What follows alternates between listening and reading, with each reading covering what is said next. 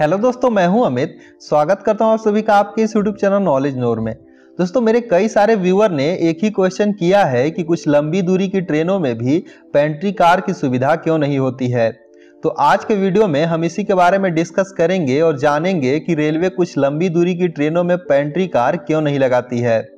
दोस्तों, जैसा कि आप सभी को पता होगा, ट्रेनों में पेंट्री कार यात्रियों की सुविधा के लिए लगाया जाता है।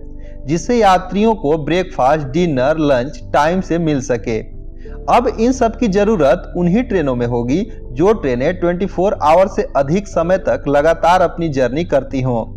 दोस्तों, कुछ प्रीमियम ट्रेनें जैसे कि राजधानी शताब्दी को छोड़कर 24 आवर से कम समय तक चलने वाली ट्रेनों में पेंट्री कार की ज़रूरत नहीं होगी, क्योंकि यात्रियों को इसकी ज़रूरत नहीं पड़ेगी।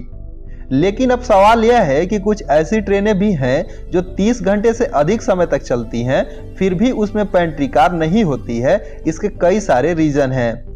जिसमें पहला है कि ऐसी ट्रेनें जिसका सोर्स से डेस्टिनेशन तक कई सारे स्टॉपेज हों, ऐसी ट्रेनों में रेलवे पेंट्री कार नहीं लगाती है। जैसे कि देहरादून से हावड़ा के बीच चलने वाली दून एक्सप्रेस, जो कि कंटिन्यू 35 आवर तक जर्नी करती है, फिर भी इसमें पेंट्री कार नहीं लगाया जाता है। क्योंकि यह ट्रेन सोर्स से डेस्टिनेशन तक 75 स्टेशन पर रुकती है, जहाँ से यात्रियों को खाने पीने की चीज़ें बड़े आराम से मिल सकती है। रेलवे लंबी दूरी की उन्हीं ट्रेनों में पेंट्री कार देगी, जिसका स्टॉपेज लिमिटेड हो, यानी कि वह बहुत कम स्टेशनों पर रुकती हो। दूसरा है कि ऐसी ट्रेनें जिसमें यात्री लॉन्ग डिस्टेंस तक ट्रेवल नहीं करते हों। भले ही ट्रेन 24 आवर से ज़्यादा दूरी तक ट्रेवल करती हो, लेकिन उसमें पैसेंजर 300 से 500 किलोमीटर वाले हों, तब ऐसे ट्रेनों में रेलवे पेंट्री कार नहीं लगाती है।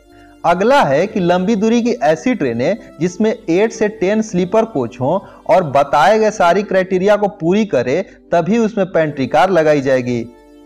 अगला है कि लंबी दूरी की ऐसी ट्रेनें जो साप्ताहिक हो या सप्ताह में दो तीन दिन ही चलती हो, उसमें भी पेंट्री कार नहीं लगाई जाएगी। क्योंकि इसके लिए रेलवे को अलग से वेंडर नियुक्त करना पड़ता है, जिसका टेंडर देना पड़ता है, जिसका कॉस्ट इनकम से ज़्यादा हो जाता है। दोस्तों, ये कुछ क्राइटेरिया है जिसे ध्यान में रखकर लंबी दूरी की ट्रेनों में पेंट्री कार लगाई जाती है। उम्मीद करते हैं आपको आपके क्वेश्चन का जवाब मिल गया होगा। फिर भी कोई डाउट हो तो कमेंट करके ज़रूर पूछिएगा। वीडियो कैसा लगा कमेंट करके ज़रूर बताइएगा। अगर पसंद आई हो तो वीडियो को लाइक और शेयर ज़रूर कीजिएगा।